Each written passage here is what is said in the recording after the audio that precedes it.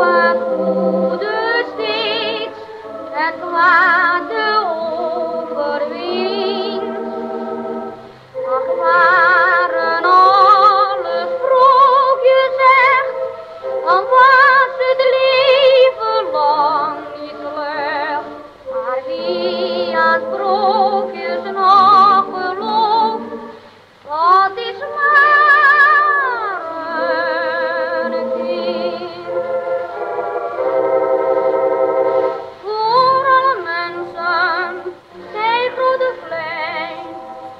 heb ik een goede raad.